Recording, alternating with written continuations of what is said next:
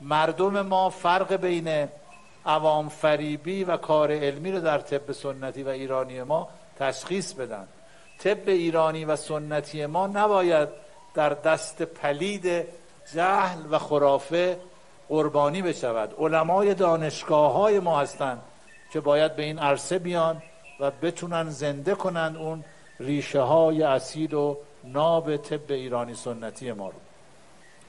نکته دیگری که در این رابطه باید عرض کنم اتقام این فعالیت ها در نظام ارائه خدمات بهداشتی درمانی است. عزیزان بزرگوار ما هیچ زیرساختی مناسبتر از نظام شبکه بهداشت درمانی کشور برای ادغام فعالیت هامون نداریم.